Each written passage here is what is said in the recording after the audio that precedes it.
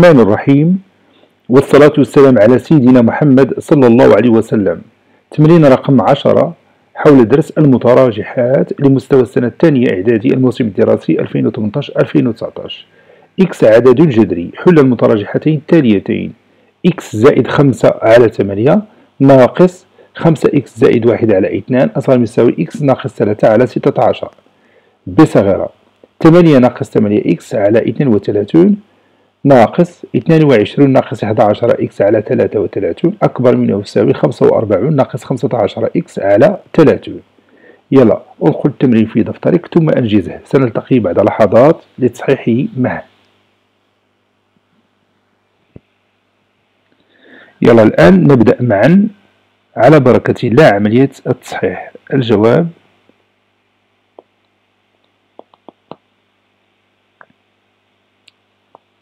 أصغر إكس عدد جذري.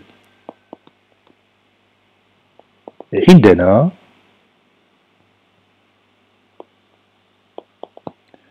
ثم سأنسخ هذه المترجحة وسأضعها هنا. ثم أواصل. يعني يلا ما هي الخطوة التالية؟ نعم يمكن هنا أن نقوم بتوحيد المقامات في المرحلة الأولى. عندنا ثمانية واثنان وستة عشر كمقامات لهذه الأعداد. إذا ما هو مقام واحد؟ نعم هو ستة عشر. ستة عشر مضاعف لإثنان ومضاعف لثمانية. إذا بالنسبة للكسر الأول سنضرب البسط والمقام في إثنان. سنكتب إثنان عامل لإكس زائد خمسة. على ستة عشر. ناقص. بالنسبة للكسر الثاني نضرب البسط والمقام في ماذا؟ نعم في ثمانية للحصول على ستة عشر كمقام موحد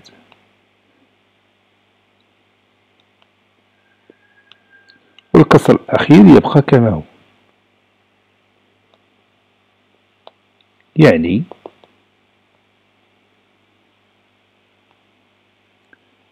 اثنان عامل لإكس زائد خمسة. سأترك, سأترك عملية النشر إلى المرحلة القادمة. على ستة عشر. أصلا يساوي إكس. ناقص ثلاثة. على ستة عشر. والآن سأتخلص من المقام ستة عشر. كيف ذلك؟ نعم سأضرب طرفي هذه المتراجحة في العدد ستة عشر. فأكتب ستة عشر. في سأستغل الفرصة هنا وأنشر هذين الجدائين اثنان في إكس أي اثنان إكس اثنان في خمسة أي عشرة ناقص ثمانية في خمسة إكس أي ناقص أربعون إكس وناقص ثمانية في واحد أي ناقص ثمانية على ستة عشر. أصلا يساوي إكس ناقص ثلاثة على ستة عشر في ستة عشر. كما ترى هنا ضربنا طرفي هذه المتراجحة في العدد ستة عشر. إذا اتجاهه المتفاوتة لا يتغير. الآن يمكننا نختزل بستة عشر هكذا. ماذا سيبقى لنا؟ نعم سيبقى لنا اثنان إكس زائد عشرة ناقص أربعون إكس ناقص ثمانية. أصغر يساوي إكس ناقص ثلاثة. وهكذا سهلت كتابة هذه المتراجحة حينما تخلصنا من المقام ستة عشر. هنا نسيت إكس ناقص أربعون إكس ناقص ثمانية. هكذا. اثنان إكس ناقص أربعون إكس أي ناقص ثمانية وثلاثون إكس وعشرة ناقص ثمانية أي زائد اثنان. أصغر يساوي إكس ناقص ثلاثة. يعني الآن سنعزل العناصر التي تحتوي على المجهول إكس وحدها والعناصر المعلومة وحدها. سنكتب ناقص ثمانية وثلاثون إكس ناقص إكس أصغر يساوي ناقص ثلاثة زائد اثنان. ناقص ثمانية وثلاثون إكس ناقص إكس تساوي ماذا؟ فعلا تساوي ناقص تسعة وثلاثون إكس أصغر يساوي ناقص واحد.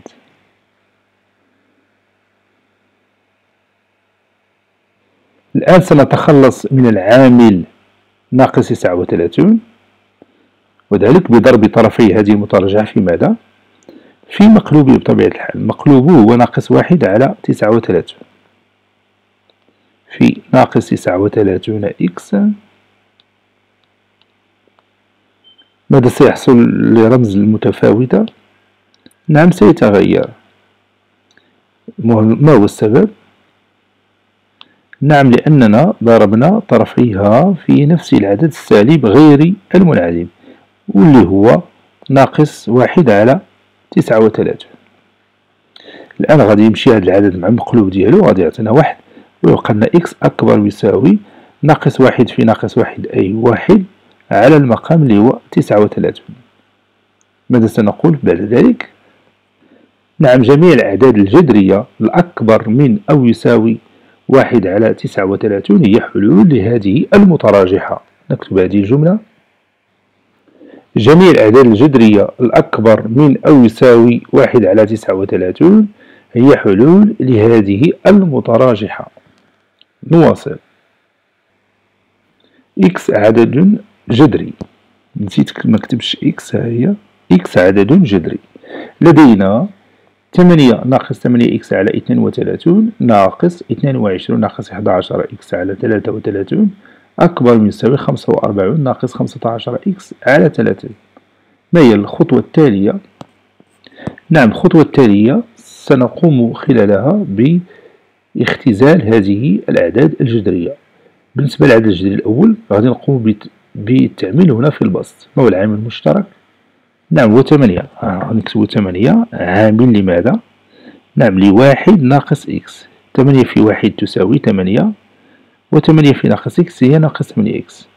32 هو جداء 8 و بالفعل هو 4 ناقص.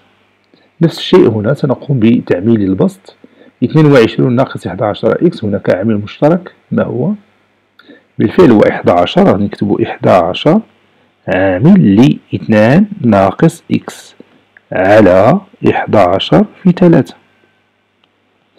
بالنسبة للكسر الثالث عندنا هنا خمسة وأربعون ناقص خمسة عشر إكس ما هو العامل المشترك.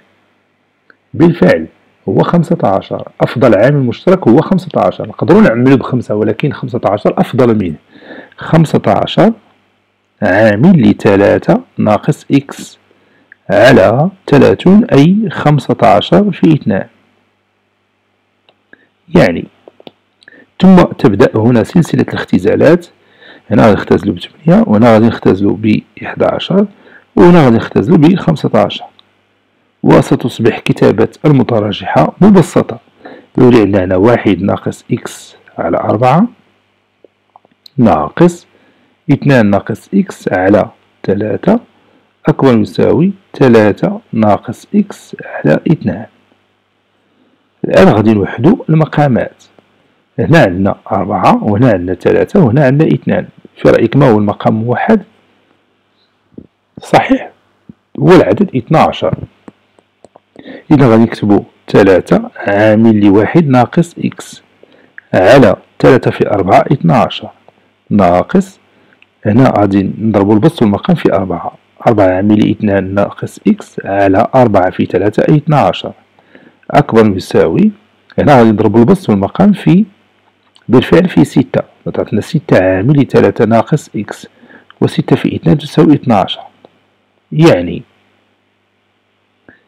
ثلاثة عامل لواحد ناقص إكس ناقص أربعة عامل اثنان ناقص إكس. الكل على اثنا عشر أكبر يساوي ستة عامل ثلاثة ناقص إكس سأترك عملية النشر إلى الخطوة أو المرحلة التالية. هنا يمكن لنا مباشرة نشطبو على 12 شفنا الطريقة في المثال السابق. غادي نضربو الطرفي هذه المتراجحة في 12 و 12 اللي في البسط تمشي مع 12 اللي في المقام. ويبقى لنا البسط. هكذا. إذا ستبقى لنا ثلاثة عامل لواحد ناقص إكس ثلاثة في واحد أي ثلاثة ثلاثة في ناقص إكس أي ناقص ثلاثة إكس. ناقص أربعة في اثنان أي ناقص ثمانية. وناقص أربعة في ناقص إكس هي زائد أربعة إكس. أكبر من يساوي ستة في ثلاثة أي ثمانية عشر. ستة في ناقص إكس أي ناقص ستة إكس. نواصل. ناقص ثلاثة إكس زائد أربعة إكس أي إكس. وثلاثة ناقص ثمانية تساوي ناقص خمسة. أكبر يساوي ثمانية عشر ناقص ستة إكس.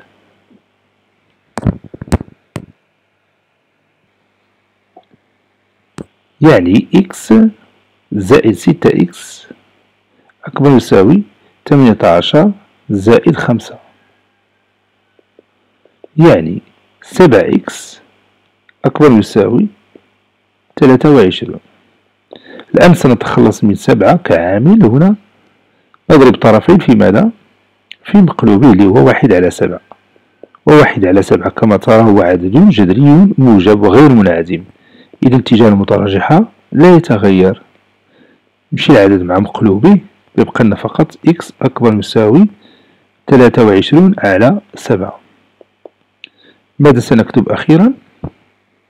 نعم جميع الأعداد الجذرية الأكبر من أو يساوي 23 على 7 هي حلول لهذه المتراجحة.